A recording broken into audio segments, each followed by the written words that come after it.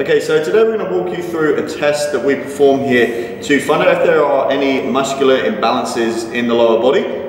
So if you're someone who finds that their quads strain a lot during the uh, squatting or your deadlifting, or you find that your hip flexors get really jacked after a session, here is a simple test that you can use to find out what muscle groups are overactive and which ones are underactive. So a few things to run through before uh, I perform the, the movement here is you want to make sure that you're driving through the heel and keeping your lower back in neutral. So when we run people through this drill, starting like so, lifting one leg up, push through the heel and squeeze the butt cheek of that leg.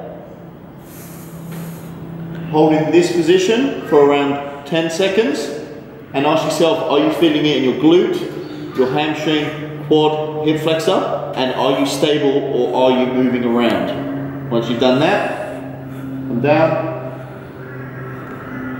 change leg, and repeat.